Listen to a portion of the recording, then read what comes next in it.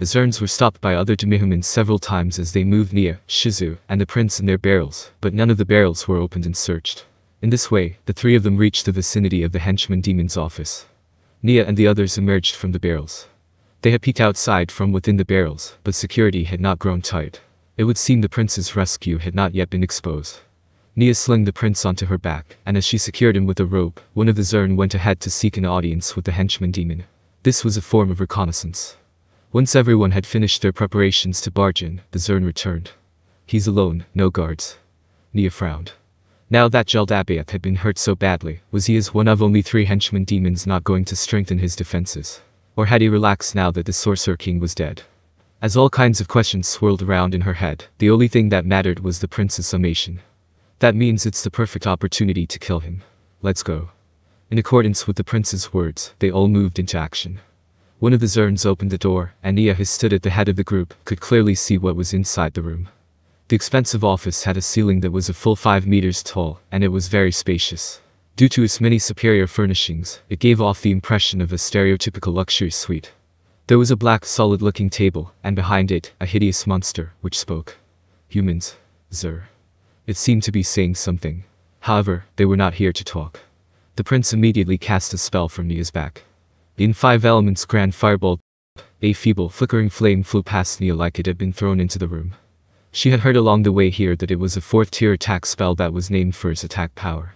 It was typically the first thing thrown into a room because it would explode upon making contact with anything. However, being five elements grand fireball, the flame vanished halfway, like it had been snuffed out by the wind. I knew it. The prince muttered hatefully. He did not cast again. That spell had been an experiment. Well he had planned to press the attack if it had not been negated, unfortunately that had not been the case. Since he did not intend to waste mana, he would wait to cast spells in accordance with their attacks. Is it the Zern Prince on the human's back? It doesn't look like the humans captured him and brought him here. Krihaha. It's treason, then. Interesting. The great demon looked like it had come from a nightmare as it slowly got to his feet, like a mockery of a human being. It was completely naked, so its arms that reached down to its knees and its legs and skin and bones body were completely exposed.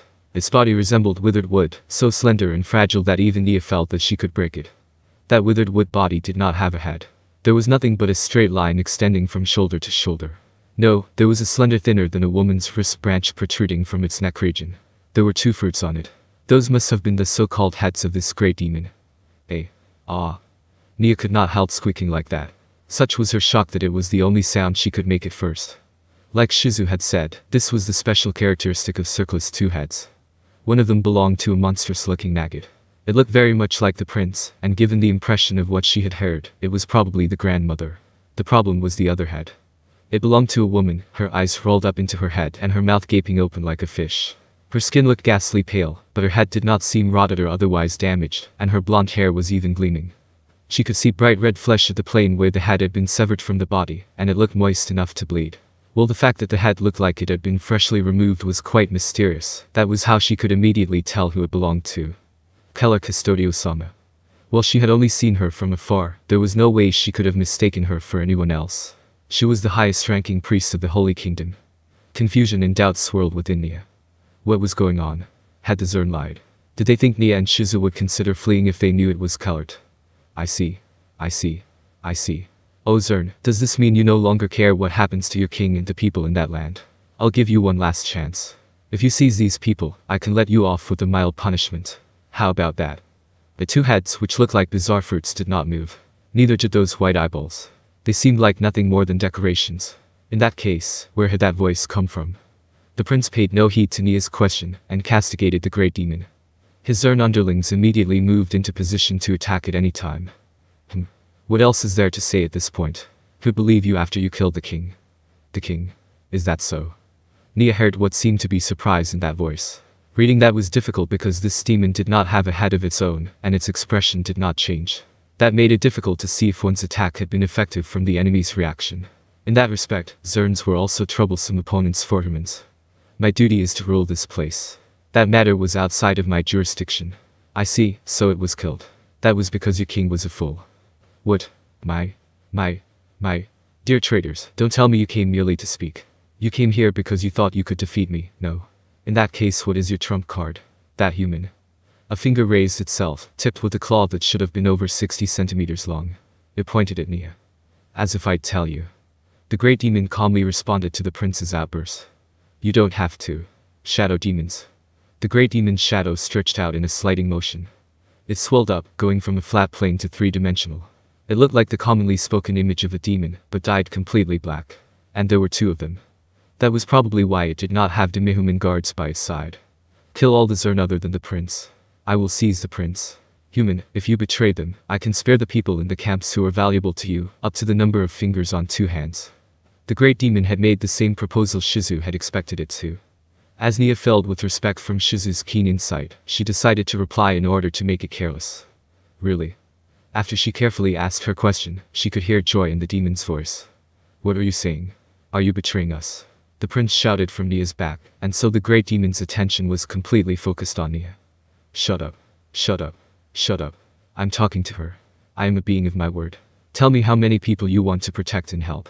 If the fingers on two hands are not enough, we can continue discussions. The defenseless demon seemed to have forgotten the meaning of caution, and it was full of openings. Their hidden trump card did not miss that. She leapt out of the shadow of the door and raised her spell gun. The muzzle spat fire, and the great demon grabbed its shoulder and stumbled back.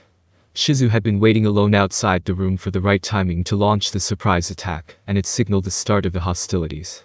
The negotiations which had been intended to manipulate their opponent into carelessness were now over. The Zern honor guard sprang at the shadow demons. Shizu rushed into the room with fearsome speed, slipped past the frontliners of both sides with lightning-fast footwork, and closed in on the great demon. What? The sorcerer. No need to explain. Shizu hacked with her dagger, and the great demon parried with its claws. While she knew that there was little time for such things once the battle started, Neia vented her unhappiness on the prince behind her. What do you mean, black hair? Isn't her hair blonde? Blonde? How is that blonde? It's light black, isn't it? Eh? He did not sound like he was lying. Could it be Zern's perceived colors differently from human beings?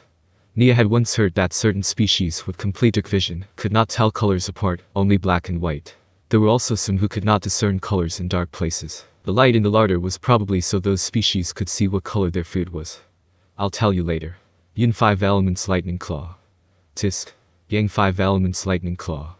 A stroke of electricity hurtled through the air like the swipe of a beast's talons, but it fizzled out halfway through. While there were spells like 5 Elements Softened Steel which decreased defensive strength and spells like 5 Elements Hardened Steel which increased attack power, as well as summoning spells like 5 elements called the Lightning Lord, the opposition might not have negated those, and instead cast a high-tier spell upon Neia and the others. In order to avoid that, the prince simply cast attack spells, which the enemy could not ignore. In addition, he focused on using electricity element spells, which the enemy should not have been able to resist, and then he used a special ability called Wood Element Strengthening upon them. While the demon's elementalism should have been able to protect against it, the prince's augmented spell could not be fully negated, and so it began to take minor damage. While the original grandmother could have used strengthening techniques just like the prince had, she was now nothing more than an accessory for the great demon. The demon did not possess strengthening techniques of its own, and the prince's spellcasting overpowered it. Since Shizu was taking the role of frontliner, Neia had to do her job as the rearguard. She could not simply serve as transportation for the prince in the face of such a mighty foe. She loosed an arrow from the ultimate shooting star super which she held. While her shot against the main body was highly accurate, the great demon easily batted it away with his hand. Out of my way. Shock waved. Kelart's face her lips moved, and she cast a second tier attack spell at Shizu. While Shizu's body lifted off the ground from an impact that was invisible to the human eye, she did not seem to have taken any damage which could have hampered her movements. Neia had expected nothing less of a difficulty rating 150 mate demon. Yin 5 Elements Lightning Claw. Yang 5 Elements Lightning Claw. They cast the same spells at each other again, and a feeble current of electricity surged past the demon's body. Open wounds. That counterattack was a spell that would worsen any wounds. Naturally, it was targeted at Shizu, who was being attacked by the demon's claws. All she could see was Shizu's back. However, her dexterity did not seem to have decreased. Sweat ran down Neia's back.